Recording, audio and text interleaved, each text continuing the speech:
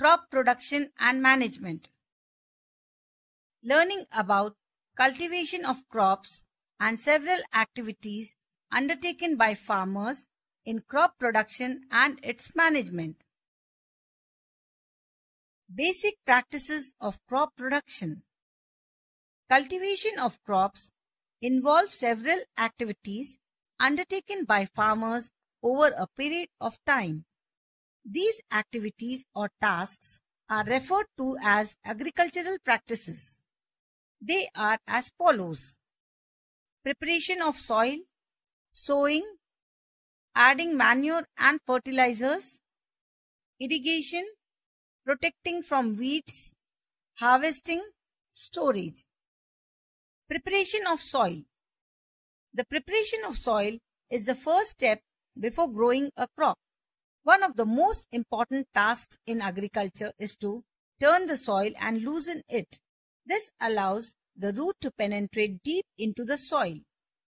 The loosened soil helps in the growth of earthworms and microbes present in the soil. These organisms are friends of farmer since they further turn and loosen the soil and add humus to it. The process of loosening and turning of the soil is called tilling or ploughing. Ploughs are made of wood or iron. Before ploughing, soil needs watering. The ploughed field may have big piece of crumbs which has to be broken with a plank. The field is leveled for sowing as well as for irrigation purposes. Agricultural implements. Before sowing the seed, it is necessary to break the soil to the size of grains get better yield. This is done with the help of various tools. The main tools used for this purpose are the plough, hoe and cultivator. Plough. This is being used since ancient time for tilling the soil, adding fertilizers to the crop, removing the weeds, scraping of soil, etc. This implement earlier was made of wood has now been replaced by iron. It is drawn by a pair of bulls or other animals such as horses, camels, etc. Hoe. It's a simple tool which is used for removing weeds and for loosening the soil. It has a long rod of wood or iron. A strong, broad and bent plate of iron is fixed to one of its ends and works like a blade. Animals pull it. Cultivator. Tractor-driven cultivator does nowadays ploughing. The use of cultivator saves labor and time. Sowing. Sowing is the most important part of crop production. Before sowing, good quality seeds are selected. Farmers prefer to use seeds which give a high yield. Activity Separating good seeds from damaged one. Take a beaker and fill half of it with water. Put a handful of gram seeds and stir well. Wait for some time. You will see some of the seeds start floating on the water. Damaged seeds become hollow and float. Good seeds settle down. This is the good method for separating good healthy seeds from the damaged one. Before sowing, let us study about the tool used for sowing seeds. Traditional tool. The tool used traditionally for sowing seed is shaped like a funnel. The seeds are filled into the funnel and they are passed down through two or three pipes having sharp ends. These ends pierce into the soil and place seeds there. Nowadays, the seed drill is used for sowing with the help of tractors. This tool sows the seeds uniformly at proper distances and depth. It ensures that the soil covers seeds after sowing. This prevents damage caused by birds. Sowing by using a seed drill saves time and labor. An appropriate distance between the seed is important to avoid overcrowding of plants. This allows plant to get sufficient sunlight, nutrients and water from soil. Adding manure and fertilizers. The substance which are added to the soil in the form of nutrients for the healthy growth of plants are called manure and fertilizers. Manure is an organic substance obtained from the decomposition of plant or animal wastes. Fertilizers are chemical substances which are rich in particular nutrients. Fertilizers are produced in factories. Some are urea, ammonium, sulfate and superphosphate, NPK, nitrogen, phosphorus, potassium. Difference between fertilizers and manure. A fertilizer is an inorganic salt. Manure is a natural substance obtained by the decomposition of cattle dung, human waste, and plant residues. A fertilizer is prepared in factories. Manure can be prepared in the fields. A fertilizer does not provide any humus to the soil. Manure provides a lot of humus to the soil. Fertilizers are very rich in plant nutrients like nitrogen, phosphorus and potassium. Manure is relatively less rich in plant nutrients. Advantages of manure An organic manure is considered better than fertilizers. This is because it enhances the water holding capacity of the soil. It makes the soil porous due to which exchange of gases become easy. It increases the number of friendly microbes. It improves the texture of the soil. Irrigation. A living being needs water to live. Water is important for proper growth and development of flowers, fruits and seeds of plants. The plant roots absorb water. Along with water, Mineral and fertilizers are also absorbed. Plant contain 90% water. Water is essential because germination of seed does not take place under dry conditions. Nutrients dissolved in water get transported to each part of the plant. To maintain the moisture of the soil for healthy crop growth, fields have to be watered regularly. The supply of water to crop at different intervals is called irrigation.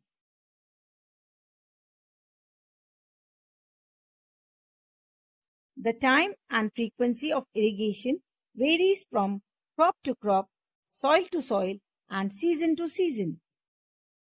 Sources of irrigation. The sources of irrigation are well, tube wells, ponds, lakes, rivers, dams and canals. Traditional method of irrigation.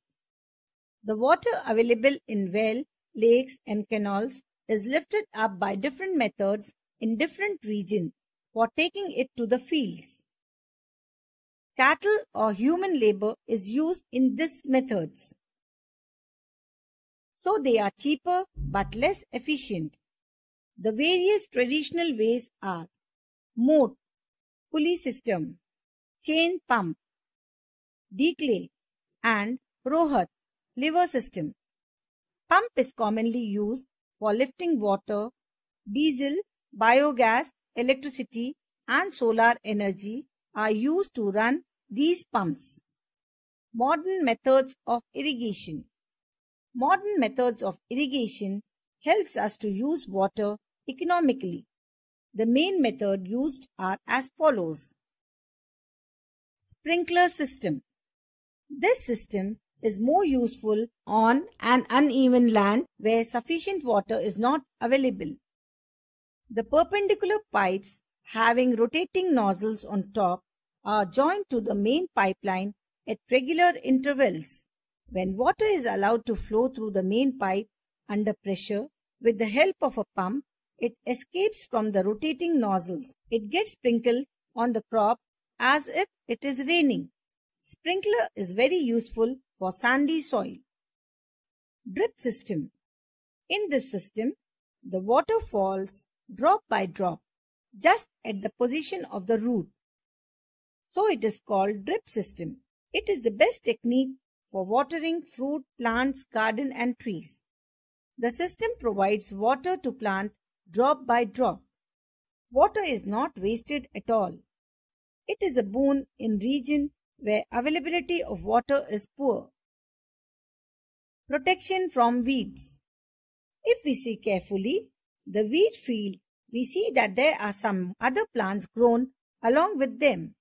In a field, many other undesirable plants may grow naturally along with the crops. These undesirable plants are called weeds. The removal of weed is called weeding.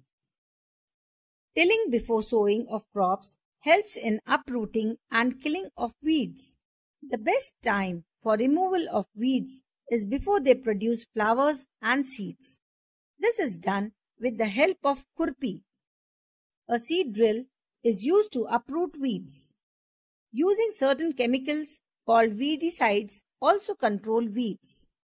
These are sprayed in the fields to kill the weeds. They do not damage the crops. Spraying of weedicides may affect the health of farmers so they should cover their nose and mouth with a piece of cloth during spraying of these chemicals. Harvesting The cutting of crop after it is mature is called harvesting. In harvesting, crops are pulled out or cut close to the ground. It usually takes 3 to 4 months for a cereal crop to mature. Harvesting is either done manually by sickle or by a machine called harvester. After harvesting, the grain seeds need to be separated from the chaff. This process is called threshing. This is carried out with the help of a machine called combine, which are in fact a combined harvester and thresher. On small holding of land, do the separation of grain and chaff by winnowing. Information Harvest Festivals after three or four months of hard work, there comes the day of the harvest. The sight of golden fields of standing crops laden with grains fills the heart of farmer with joy and a sense of well-being. The efforts have borne fruit and it is time for them to relax and enjoy a little. The period of harvest is thus of great joy and happiness in all parts of India. Men and women celebrate it with great enthusiasm. Pongal, Baisakhi, Holi, Diwali are special festivals associated with harvest season. Storage. Storage of food grains is an important task. If the crop grains are to be kept for longer time, they should be saved from moisture, insects, rat and microorganisms. The fresh crop has more moisture. If freshly harvested grain seeds are stored without drying, they may get spoiled or attacked by organisms losing their germination capacity. Hence, before storing them, the grains are properly dried in the sun to reduce the moisture in them. This prevents the attack by insects, pests, bacteria and fungi. Farmers store grain in jute bags or metallic beans. However, large-scale storage of grains is done in silos and granaries to protect them from pests like rats and insects. Dried neem leaves are used for storing food grains at home. Summary It is necessary to prepare soil by tilling and leveling. Plough and levelers are used for this purpose. Sowing of seeds at appropriate depth and distances gives good yield. Good variety of seeds is sown after selection of healthy seeds. Seed drill do sowing. Soil needs replenishment and enrichment through the use of organic manure and fertilizers. Use of chemical fertilizers has increased tremendously with the introduction of new crop varieties. Supply of water to crops at appropriate intervals is called irrigation. Weeding involves removal of unwanted and uncultivated plants called weeds. Harvesting is the cutting of the mature crops manually or by machine. Separation of grains is necessary to protect them from pests and microorganisms. Food is also obtained from animals for which animals are reared. This is called animal husbandry. That is all in this lesson. Keep learning. Learning is fun.